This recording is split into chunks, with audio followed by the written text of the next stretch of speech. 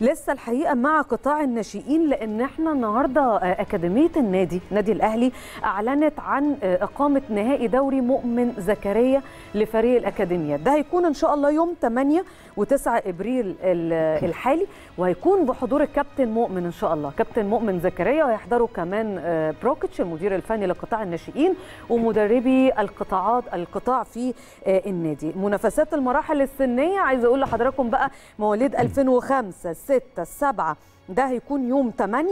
بفرع النادي في الشيخ زايد ونهائيات مراحل 2008 و9 هتكون في فرع النادي ولكن في مدينة نصر وهيتم اختيار هنا العناصر المميزة في دوري مؤمن زكريا علشان ينضموا لقطاع الناشئين في النادي الأهلي إن شاء الله.